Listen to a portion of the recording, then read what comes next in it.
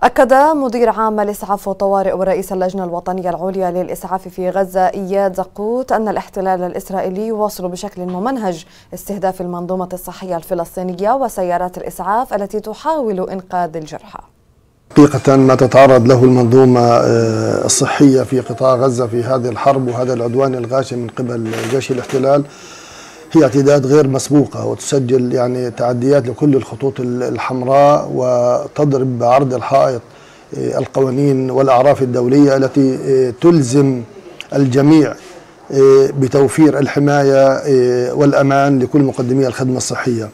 وكذلك طبعا تم استهداف الكوادر الإسعافية في هذا العدوان بشكل متزايد عن كل المرات السابقة. حيث إلى الآن تم استهداف حوالي 121 سيارة إسعاف. جلها تم تحييدها بالكامل عن الخدمة واستهدافها وتدميرها بشكل كامل وبعضها تم إعطابه بشكل جزئي.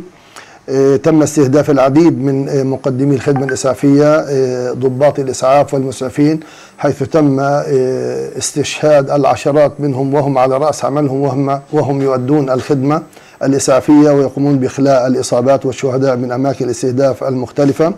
وكذلك تم إصابة العديد العشرات من ضباط الإسعاف ومقدمي الخدمة الإسعافية أثناء تأدية واجبهم الإنساني.